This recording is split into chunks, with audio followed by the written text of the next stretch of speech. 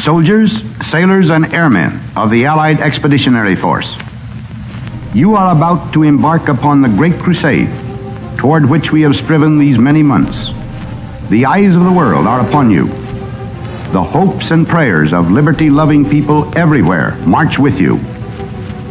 In company with our brave allies and brothers in arms on other fronts, you will bring about the destruction of the German war machine, the elimination of Nazi tyranny over the oppressed peoples of Europe, and security for ourselves in to a free world. enemy under a mammoth cloud of fighter planes, under a ceiling of screaming shells from Allied warships.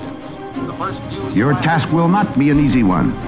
Your enemy is well trained, well equipped, and battle hardened. He will fight savagely. But this is the year 1944. Much has happened since the Nazi triumphs of 1940 41. The United Nations have inflicted upon the Germans great defeats in open battle, man to man. Our air offensive has seriously reduced their strength in the air and their capacity to wage war on the ground. Our home fronts have given us an overwhelming superiority in weapons and munitions of war and placed at our disposal great reserves of trained fighting men. The tide has turned. The free men of the world are marching together to victory. I have full confidence in your courage, devotion to duty, and skill in battle. We will accept nothing less than full victory.